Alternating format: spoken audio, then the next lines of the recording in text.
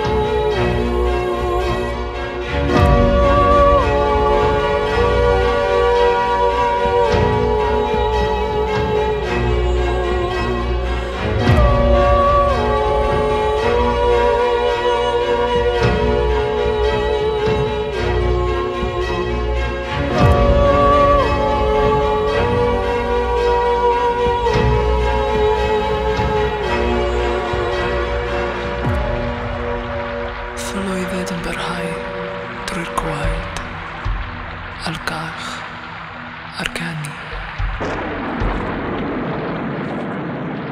I gwendid i'w gobaith am y fori.